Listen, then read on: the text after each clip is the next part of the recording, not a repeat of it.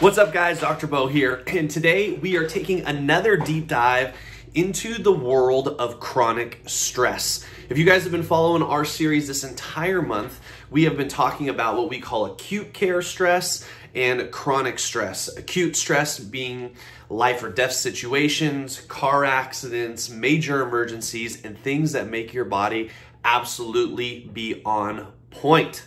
Now, Chronic stress, as we talked about, are things that are chronically building over time, like tension at work, times when your kids are driving you crazy, and all of the world craziness that is happening right now. We also discussed in some of the last videos, along with Dr. Jordan, that chronic stress is bad for your body. We touched upon the fact that there are two main systems that run our entire body the sympathetic system and our parasympathetic system. The sympathetic system being that fight or flight system, and the parasympathetic system being that what we call rest, digest, and chill. Now, as we spoke about prior, if your body is in a constant state of chronic stress, your body will start setting off little alarms. And the alarms are usually in forms of pain, which basically tells your brain, hey, pay attention, something's going on here. So those things are like migraines, tension headaches, inability to sleep, insomnia, upset digestion. Basically, these are little alarm clocks, basically trying to remind your body that, hey, look, I am under so much stress and I'm sounding the alarm. And if you do not do something, the body is set to go into major breakdown mode. And those breakdown modes, like we spoke about, can result in things like sickness, illness, disease, or ultimately disease. Now, if you're like everyone else right now in the world and you're completely stressed out, I want to give you just three small tips that you can do today to start to lower the amount of chronic stress that your body is under. So, I have my handy dandy little piece of paper here here. The first thing, and the thing that most people think about when they talk about reducing stress, is simply enough reducing muscle tension that is throughout the body. Things like massage, things like sitting in a hot tub, maybe heading up to Sycamore Hot Springs and sitting in uh, the, the warm Sycamore mineral springs to help your body relax. Getting in a place of warmth and allowing the muscles, which are under so much chronic tension, to actually relax. You know, people relax at different places. Some people like the beach, some people like a lake, some people like just sitting literally laying on the ground flat on their back in their backyard.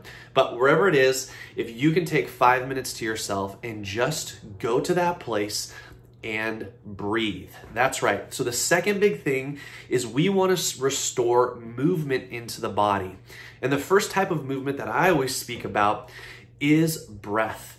When our body is under a state of chronic stress, we are typically only breathing with our upper respiratory system and about half of it, which means our lungs are not filled with as much oxygenation, or excuse me, with as much oxygen, which means it does not oxygenate all the tissues. And the reason we see that is because most people are over here at these desks where they're hunched over and your body's not allowing itself to fully breathe. So we've done videos in the past on diaphragmatic breathing. If you don't know what that is, I encourage you to go check out some of those videos. But ultimately, I would love for you to take just one to two minutes a day, that's all I'm asking, and to do some diaphragmatic breathing. In addition to that, guys, getting out and having movement in the body, in my opinion, is so vitally critical. It may be one of the most critical things that you can do.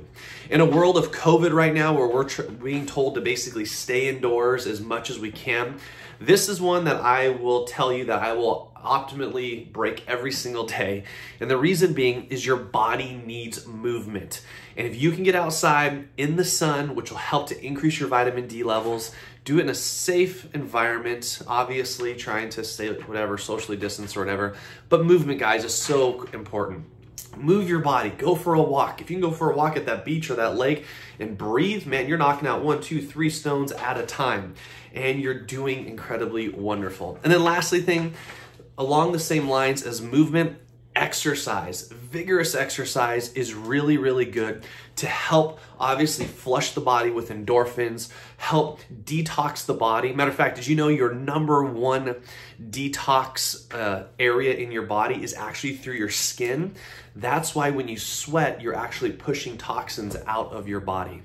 So, guys, I know we are under so much stress these days. Chronic stress is killing so many of us. Matter of fact, I really believe that the amount of chronic stress is very relevant to the amount of sickness that's happening especially in the United States. When we see chronic stress elevate, we also see sickness elevate. So, try to do some of these things. Number one, find a relaxing place. Number two, work on your breathing and your movement. Number three, exercise. And number four, if I could have one, guys, eat really good foods, drink lots of water, and ultimately just kind of be happy.